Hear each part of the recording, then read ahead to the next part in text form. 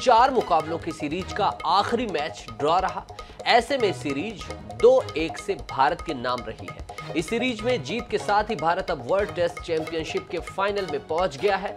खिताबी मुकाबले में भारतीय टीम का सामना 7 जून से 11 जून के बीच ऑस्ट्रेलिया से होगा। रोहित शर्मा की कप्तानी वाली टीम इंडिया कंगारू से लगातार चार टेस्ट सीरीज़ जीतने वाली एशिया की पहली टीम बनी है।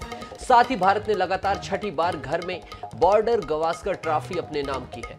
अहमदाबाद में नरेंद्र मोदी स्टेडियम में ऑस्ट्रेलिया ने अपनी दूसरी पारी 175 रनों पर दो विकेट गवाकर घोषित कर दी। फिर नतीजा ना निकलता देख दोनों कप्तानों ने एक घंटे पहले ही आपसी सहमति से मैच समाप्त की घोषणा कर दी।